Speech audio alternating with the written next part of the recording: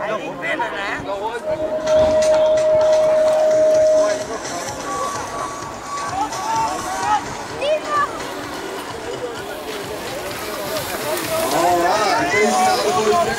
We gaan kijken wat er gaat gebeuren daar zo. Met uh, Wessel van Dijk van het Dream Team, maar ook Erik Peters. Dat zijn mannen die in de A-finale hadden moeten zitten. Waardoor Peck helaas hier in de B-finale laten zien wat er gebeurt. Het is een one and two daar van het Dream Team. Het is uh, Wessel van Dijk en Erik Peters op de 1 en 2. Richting finishlijn zo. Hadden ze misschien in de A-finale willen hebben. Op de derde plek hier Ruben van Ekeren. En als vierde over de week komt dat toch Jordi van Meulen.